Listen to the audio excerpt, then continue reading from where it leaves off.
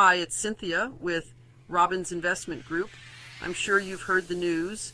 Real estate is tough. But what if I told you there are hidden opportunities just waiting for you to find them? Let's dive into three out of the box ideas to boost your real estate game. First up, investing in off market properties. These hidden gems are not publicly listed, helping you dodge fierce bidding wars. Next, consider converting commercial spaces into residential units. This taps into new markets and maximizes your property's potential. And here's a game changer using virtual reality to showcase properties. Imagine giving potential buyers a virtual tour from their couch. It's a unique experience that sets you apart. Don't forget the rent to own strategy. Help tenants transition into homeowners while securing stable income for yourself.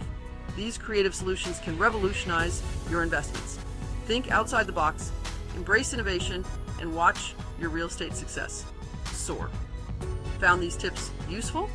Drop your thoughts in the comments. And for more real estate insights, hit that subscribe button. Thanks for watching